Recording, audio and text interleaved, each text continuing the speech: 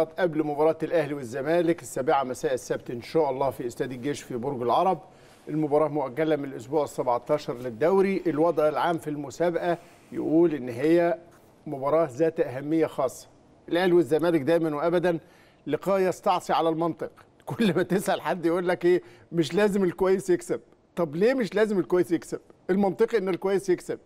لأنه الواضح إنه الكويس مقصود بيها اللي في حالة فنية كويسة اليومين دول.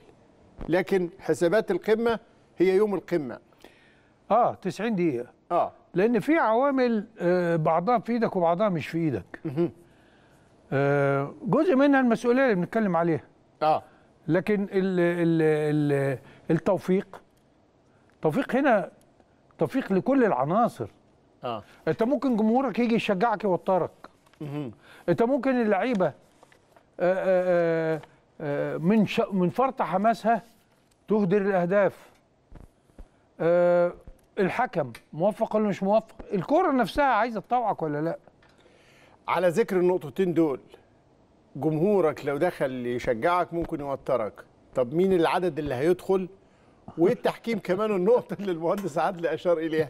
المباراة ربما تشهد أقل نسبة حضور في تاريخها.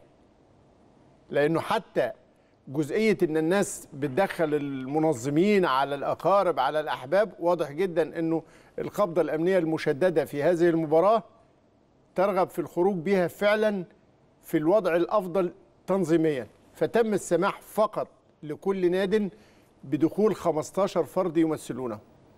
أي مسؤول يرصد ال- ال- ال- اللغو وال- وال- واللي بيحصل والشحن والكلام ده يدرك إن في الناس بتاخد الماتش في حتة.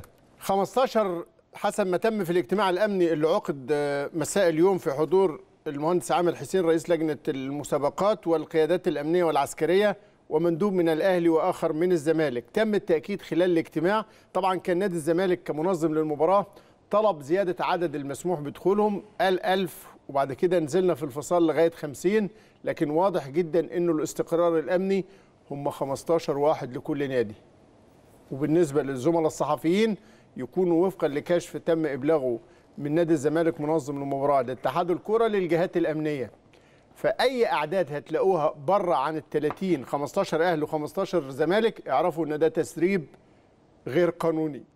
إنما القانوني والمتفق عليه 15 لكل نادي. ال 15 هم أعضاء مجلس الإدارة ويمكن يكون المدير التنفيذي واثنين معاه تقريبا. أكتر من كده هيبقى زي التسريبات.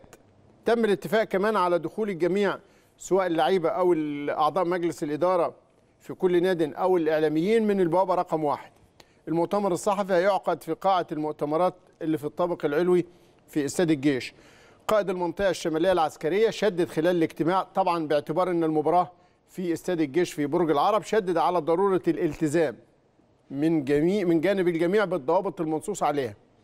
في الاجتماع سادت حالة من الود بين مندوبي الأهلي والزمالك والعامل حسين رئيس لجنة المسابقات قال إنه ما فيش أي تعليمات استثنائية من جانب لجنة المسابقات تخص هذه المباراة وطالب الناديين بالتحلي بالروح الرياضية وفي نفس الوقت أكد على تعيين مراقبين اثنين بجانب منسق أمني واحد. يعني في ثلاث مراقبين أو اثنين مراقبين ومنسق أمني لهذه المباراة اللي فيها 30 واحد بس بيتفرجوا عليها مع الجهاز الفني في الملعب. كنت بتتكلم كمان على عندك تعليق على موضوع الحضور؟ يعني الحضور هو مفيش حضور. في غياب. لا يعني يعني نت... يعني في حاجة طبعا الأمن مدركها أيوه. والشواهد بتقول إن في سعي لإحداث نوع من التوتر. فخلاص يعني المهم إن الماتش آه، في الملعب يبقى كويس. أيوة. الروح الرياضية تبقى كويسة. اللعيبة مع بعض. لأن هي المسألة مش مسألة إن أنت بت آه، يعني بتخاف من الملعب لا ده أنت كمان ده البيوت نفسها والشوارع ممكن تبقى متوترة. ففي مسؤولية هنا لقيادات ال- ال- الأندية ومسؤولية لقيادات الأجهزة الفنية والإدارية ومسؤولية على اللعيبة ومسؤولية على الحكم. خلوا الناس اللي بره